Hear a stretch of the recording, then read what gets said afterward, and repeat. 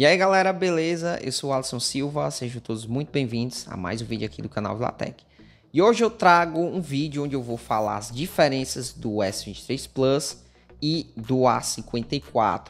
Eu sei que vai ter uma minoria, porque está sendo uma minoria, que vai reclamar desse tipo de vídeo, porque eu vou estar falando das diferenças de um dispositivo intermediário e de um dispositivo top de linha. Primeiro que esse vídeo é entretenimento e sim, algumas pessoas estão interessadas em saber se vale a pena pagar a diferença. É isso que eu vou falar no vídeo. Eu sei que o S23 Plus ele é melhor do que o A54, mas a gente vai falar das diferenças. Não é um comparativo real, porque eu nem colocar as pontuações que eu geralmente coloco, só falo das diferenças. No final falo se compensa pagar a diferença para levar o aparelho mais caro. Eu espero que vocês entendam muito. E sim, eu vou ficar trazendo esses vídeos porque eu, gravei, eles deram boas views, quer dizer que vocês gostaram. E eu ainda vou trazer mais, cara. Não vai ficar só nesse daqui, não, beleza? O intuito desse vídeo é eu falar se compensa você pagar o valor a mais e levar o mais caro. Mas o que que alguns, poucos, ainda bem que são poucos, entendem? Ah, você tem um S23 Plus e você vai fazer o comparativo com o S20FE ou o A54, porque você quer humilhar o aparelho mais em conta. É, possivelmente seja isso que alguns entendem. Na parte de acabamento, nós temos vidro no A54 e vidro também no S23 Plus. A diferença é que o S23 Plus tem um vidro fosco, o A54 é um vidro comum. E também o A54, apesar de parecer que ele tem as, as bordas aqui, ó, em metal, não é em metal isso daqui, tá certo? É plástico. A do S23 Plus, essa sim, é em metal. Olha, temos a cor verde, temos o lima pro lado do A54 e sinceramente, galera, eu achei os dois muito bonitos, como vocês podem ver aí, ó. Os dois, cara, se eu chegasse numa loja para comprar, coisa que eu não faço, né? Na verdade, seria no site, no aplicativo, eu ficaria com a dúvida muito grande em saber qual dos dois eu iria escolher. E aí, A54 ou S23 Plus? Hum, eu acho mais bonito a cor do A54, mas eu acho mais estilosa a cor do S23 Plus. Realmente é uma decisão difícil. Comenta aí qual das duas cores você achou mais bonito. O A54 com verde lima ou o S23 com esse verde loto. O sensor biométrico dos dois também é diferente. No caso do A54 é um sensor ótico, né? Então demora um pouco mais para poder desbloquear e também tem essa questão de acender uma luz. O S23 Plus não, o sensor dele é ultrassônico, não tem esse negócio de acender a luz e também ele é bem mais rápido. A tela do S23 Plus tem 6.6 polegadas, a tela do A54 tem 6.4 polegadas. Mas temos também uma diferença aí na questão do aproveitamento. As bordas do A54 são maiores que a do S23 Plus, inclusive no vídeo de experiência de uso com o A54 eu falei isso para vocês. Os dois têm taxa de atualização de 120 Hz, mas tem uma diferença a taxa de atualização aqui do A54 ela é adaptável, então fica variando entre 60 e 120. Já a do S23 Plus é tecnologia LTPO, então ela fica oscilando entre 48 Hz até 120. A proteção que compõe as telas são também diferentes. No A54 temos Gorilla Glass 5 e no S23 Plus já é mais avançada, que é Gorilla Glass Victus 2. Olha, com relação à bateria, vocês vão se surpreender assim como eu me surpreendi também. O A54 tem 5.000 mAh, o S23 Plus tem 4.700. Por o aparelho ser intermediário, o chipset dele não é top, então vai gastar menos bateria. E ele tem mais bateria que é 5.000. Logo, me deixaria pensar que a autonomia melhor seria a do A54. Galera, por incrível que, que pareça, a Samsung fez uma mágica aqui, que eu já expliquei que mágica foi essa. Tem alguns, algumas coisas né, no S23 Plus que fizeram a bateria dele melhorar. Mas realmente a bateria do S23 Plus ainda consegue ser melhor. Eu consigo chegar a 10 horas de tela com o S23 Plus aqui no A54.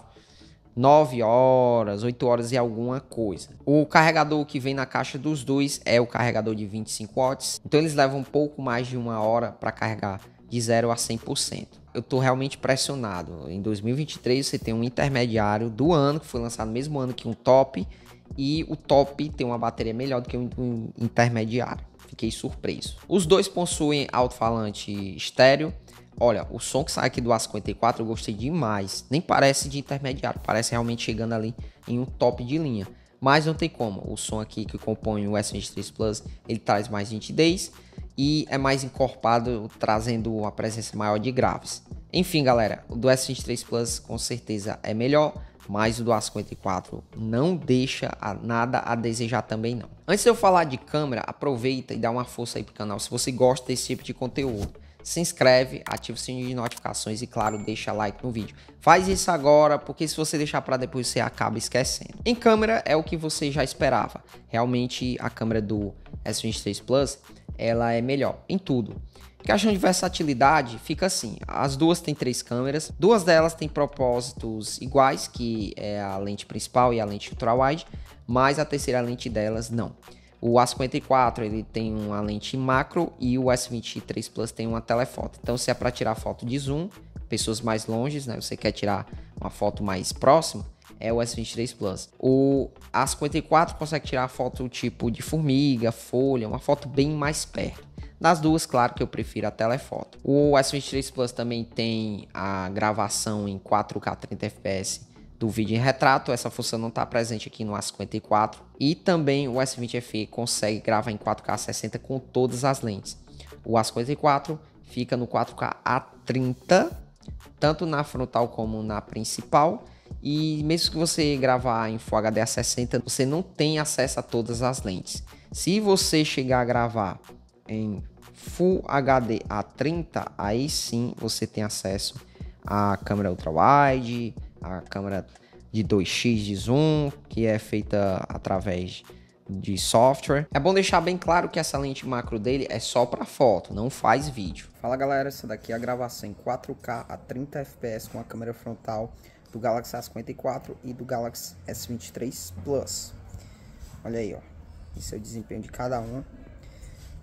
Uh, cara, a gente sabe que o S23 Plus vai ser superior. Mas o foco desses vídeos que eu faço é justamente quanto superior. E o quanto ele é superior realmente vale pagar a diferença? Quero que vocês reflitam sobre isso. Ó. 4K 30 nos dois, qual o melhor microfone. E o bacana da câmera da Samsung é que eu consigo fazer isso aqui, ó. Eu posso mudar para a câmera traseira e ter acesso a todas as outras lentes. Vou fazer isso agora.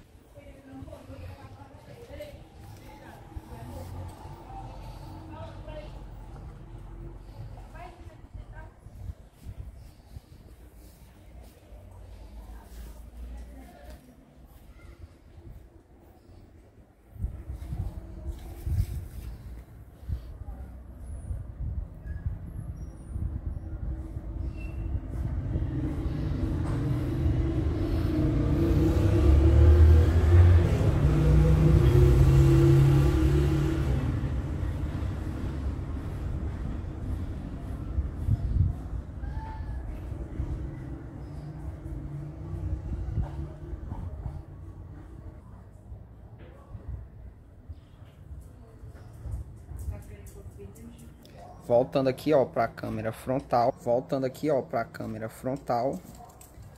Já passei por todas as lentes. E agora vamos fazer um pequeno teste HDR. Qual que tá estourando mais lá em cima? S23 Plus ou A54? Olha aí, ó. O que, que vocês acham? Comentem. Em desempenho, nós temos o Snapdragon 8 Gen 2 for Galaxy Pro S23 Plus e um Exynos 380 Pro A54. A gente sabe também que o do S23 Plus é superior, né? Top de linha, aquela coisa que a gente já conhece. Mas no dia a dia, sinceramente, eu não percebo muito essa diferença não. O S23 Plus consegue ser mais rápido, mas o quão mais rápido? É uma coisa muito perceptível. Você vai mexendo ali nos dois e o A54 é tão rápido quanto.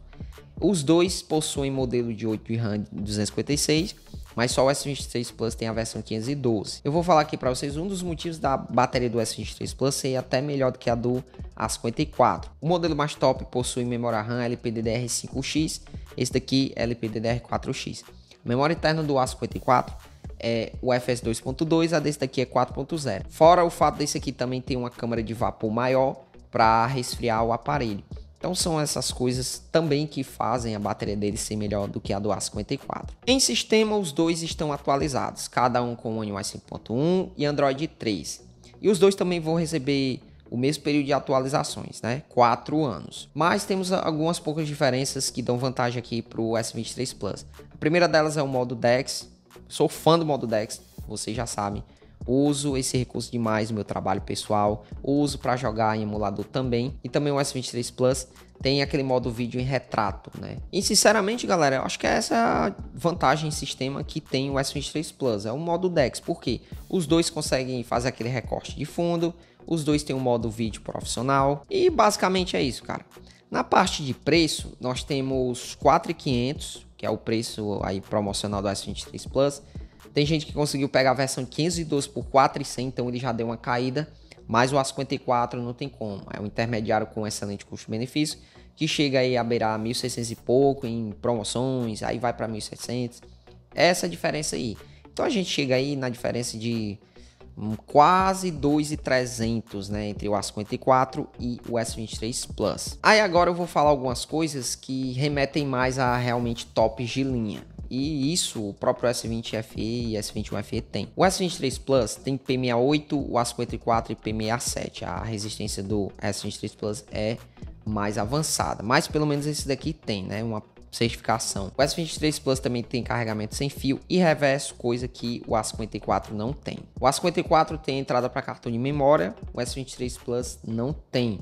O S23 Plus tem um USB tipo C 3.2 e o do A54 é 2.0. Os dois também aceitam microfones externos. Então, assim, galera, cheguei no final do vídeo onde eu expliquei tudo sobre os dois aparelhos, quais são essas diferenças, né? E agora, realmente essas diferenças que eu falei que dão vantagem ao Galaxy S23 Plus, compensa você pagar para pegar ele? E a resposta é não, não compensa. O S23 Plus ele é muito bom, mas ele não é R$ 2.200, R$ 2.300 melhor do que um A54. O A54 é um intermediário que impõe respeito. Inclusive, eu estou bem feliz porque a gente chegou no patamar que intermediário já consegue fazer muitas coisas que o top de linha faz.